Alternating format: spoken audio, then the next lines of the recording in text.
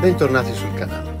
Oggi vi porto lo spellicolamento e lo descatolamento, ho detto in inglese per quelli bravi, unboxing del pavo uh, mini drone, detto anche pavo pico, c'è chi lo chiama pavo nano, insomma questo nuovo giocattolino di casa beta. Andiamo a vedere cosa c'è all'interno della scatola. Io ho comprato uh, la versione per Air Unit DJI o 3 chiaramente perché quelle ho e, e il mio sistema prevede di utilizzare quel tipo di camere so che ci sono anche so ve lo do per certo c'è anche il modello sempre uguale a lui però per la versione Walk Snail quindi un altro tipo di VTX cambia semplicemente l'alloggiamento della camera. Andiamo ad aprire la scatola e di quelle di qualità come vedete effetto ventosa. All'interno troviamo le antenne per essere montata sulla O3 troviamo delle eliche di ricambio un back a 5 volts per l'alimentazione ed un connettore per il collegamento. Probabilmente tutti accessori inerenti al collegamento della DJI O3 una batteria di serie da 450 mAh 2S, la lasciamo qui, un portafiltri sempre per la cam della DJI O3 e infine ecco qui il nostro bel dronetto.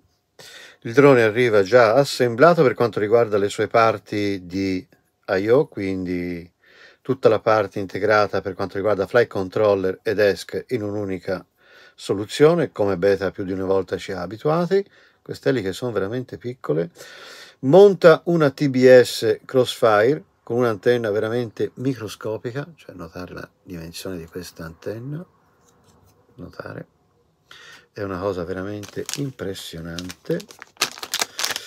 All'interno poi arrivano due telaietti, uno di scorta e uno da montare sopra che alloggerà presumo che vada montato così, poi vedremo un attimino le istruzioni, lo vedremo eventualmente montato, finito, dove viene montato l'alloggiamento della O3 e la sua cam qui sull'anteriore. Vediamo che cosa ne viene fuori, all'interno abbiamo il classico QR code per le istruzioni e quant'altro, vediamo all'interno a questo punto del sacchetto che cosa c'è.